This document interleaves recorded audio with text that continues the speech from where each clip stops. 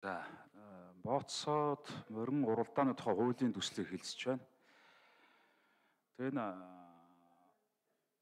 холбоонд олгоно гэсэн байх, эрхийг нь холбоонд олгоно гэсэн байх. Яагаад холбоо гэдгийг юу хувилбарыг сонгосон гэдэг нэгдүгээр асуулт байна.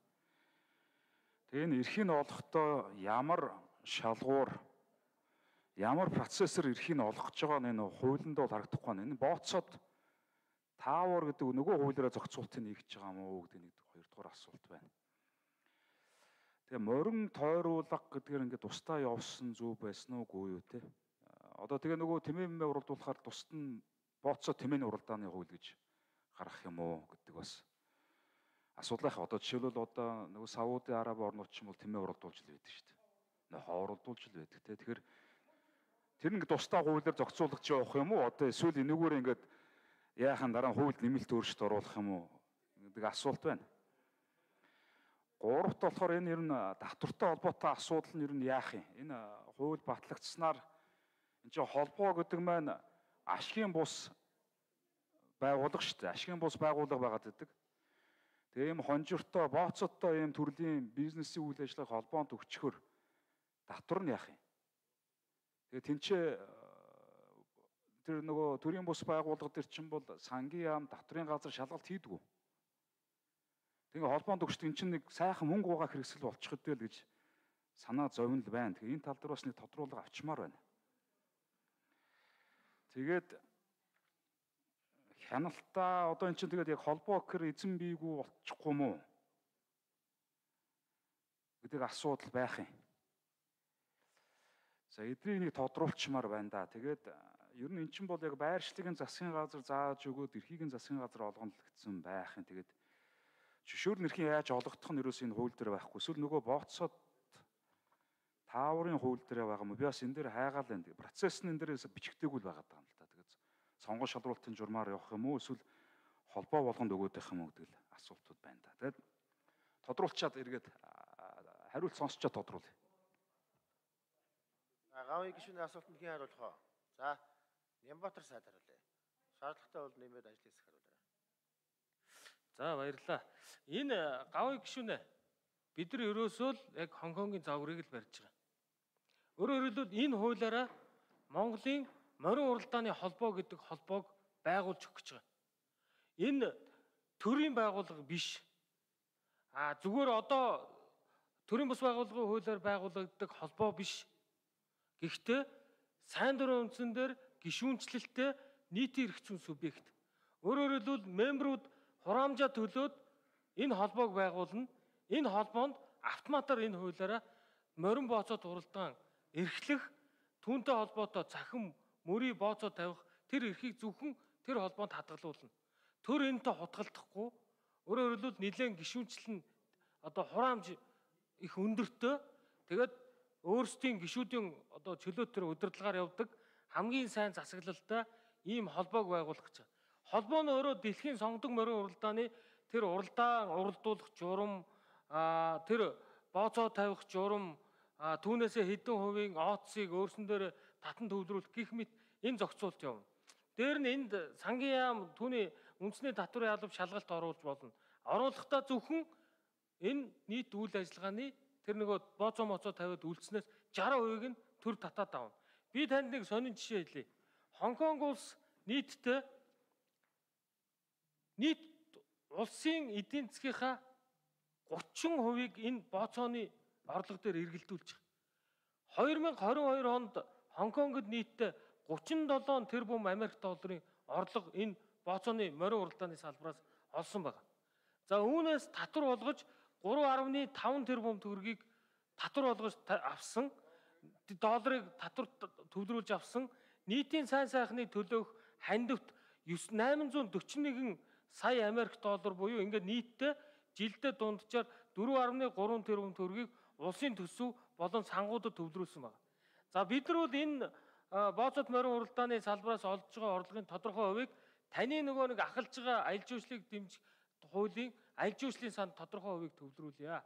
За улсны Улаанбаатар хотын энэ төвлөрлийг бууруулах гэх мэт ийм хэлбэртэй тодорхой зорилтуудад зарцуулж болно. Хүүхдийн одоо боловсрол эрүүл мэндэд зарцуулж болно. Энийг бас хилцүүлгийн шатанд явъя гэж.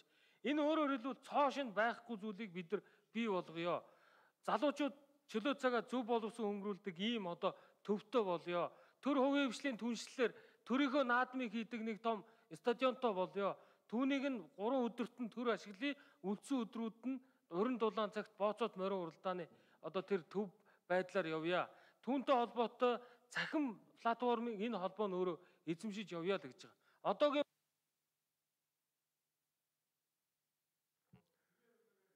За Нямбатар сайд гүйцэтгэж харуулж. Аа энэ та яг зөв асуулт хөндөж байна. Бооцоо төлбөр тааварт хонжуур цуглааны хууль гэж одоо энэний дараа бид нар хэлцэх танилцуулга юм. Энэ Монгол улсад бооцоод тааварт одоо тоглоомын төрлийн нэг нь казино байна, нэг нь морин бооцоод уралдаан байна. Бусд нь нөгөө спорт бет болон бусад төрлийн хонжуурт таавар тоглоомын хуулийг нөгөө ерөнхий толгой хуулиараа зохицуулж байгаа. Тэгэхээр жишээлбэл морин бооцоод уралдаан зохион байгуулахад тэр хуулиар зөвшөөрлөө аваад явж болно. Бүхий өргөөний барилдаан дээр очиод бооцоо тавилдаг, бооцооны компаниуд үүсч болно. Бүхий л юмн дээр хуулиас хуулиар тусгай зөвшөөрөл авсан аж ахуй нэгжүүд бооцоо тавьдаг энэ бизнесийн үйл ажиллагаа зах зээл энэ одоо дэлгэрэх энэ боломжийг бид нар дараагийнх нь хуулиар нээж өгч байгаа. Зүүн өмнөд Азийн орнуудад одоо амтан хорхоо шавж хүртэл уралдуулдаг ийм бизнесийн төрөл хэлбэрүүд байгаа шүү дээ. Тэгэхээр бид нар бол тэмээ бусад одоо тийм уралдаан зохион байгуулах эрхүүл нөгөө бооцоо төлбөр таавар тоглоомын хуулиар зохицуулагдаад явна. За хас сүрийн гав гишүүн тодруулж асууя. Хоёр удаа тодруулж болно. Би анхны удаа гэж үзвэл хоёр асуудал байна. За. Ингээд таны яриаг сонсоод дүгнээд хэлэхэд цоо шин хэлбэрийн холбоо буюу төрийн ус байгууллага байгуулах гэдэг нь шүү дээ. Тэгээ яг тэрнийхэн хууль нь байхгүй. Тэгээ тэр чинь нэг жонко болчих бай таа. 40% нь яг улсад татвар болоод ирэх юм. 60% нь яах юм? Анхан шатны анхны хөрөнгө оруулалтыг яаж хийх юм? Гишүүд нь дундаас ингээд ижил хэмжээний мөнгө оруулаад тэр юу л морин тойруулгаа барих юм уу? Анхны хөрөнгө оруулалтыг хийх гэдэг нэг тодруулчмаар байна. Тэгээ дараад нь тэрнээс хойш гарсан ашигаа тэр гişүүд нь тэгш хуваагаад явах юм уу гэдэг асуудал бас эндээс уран гарч ич байна.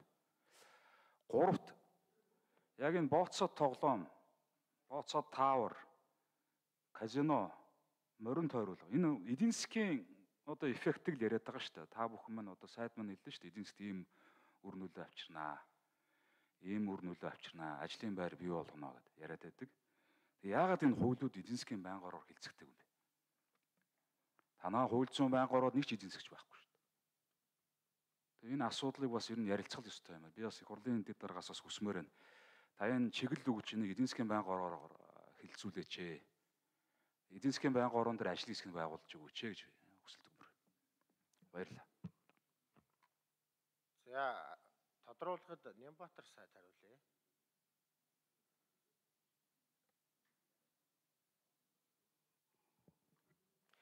За гавь гişүнэ энэ хууль өөрөө Монголын жокей клубыг байгуулах хууль юм аа. Өөрөөр хэлбэл энэ холбоо байгуулах журмыг энэ тусдаа засгийн газар өөрөө баталгаад өгнө. Холбоо нь өөрөө өөрийн удирдлагаараа тэр тойруулгын уралдааны журмаа батлана. Түүн дээр тавигдах бооцооныхоо тэр бет тавих журмуудаа батлана. Холбоо нь өөрийн гэсэн одоо нийтийн эрх зүйн ийм субъект байя. Монгол улсад анх удаага бид нар нийтийн эрх зүйн ийм шин субъектыг хуулиар нь байгуулж өгч байна. Одоогийн тэр морин спорт уяжтай холбоо молбоноос шал ондоо байя. Энэ хүмүүс нь өөрсдөө яг Хонконгийн жоги клубын загвараар бид нар энэ хуулийг бичсэн. Энэ хууль өөрөө тэр холбоог байгуулж, холбоо нь өөрөө бие даасан үйл ажиллагаа явуулах, хөрөнгө оруулалтаа татах, ашиг алдагдлаа хуваарлах ийм л агуулгатай бүх эрхийг нийтийн эрх зүйн субъект нь өгөө л гэж байгаа. Өөр энэтэй параллельны ийм байдлаар өөр холбоо байгуулагдахгүй энэ хэрвээ өөр бүс орон нутгууд хүсэлт гаргуул өөрийнхөө салбар морин тойруулгын уралдаануудыг шинээр нэмж хийж болно тавьсан олон улсын стандарт шаардлагыг хангасан тохиолдолд нэмж ийм одоо салбар тойруулгуудаа байгуулж болно л гэж байгаа. За эдийн засгийн байнгын ороогоор хилцэх асуудал дээр ерөөсөө хоригдж байгаа хаалттай зүйл байхгүй.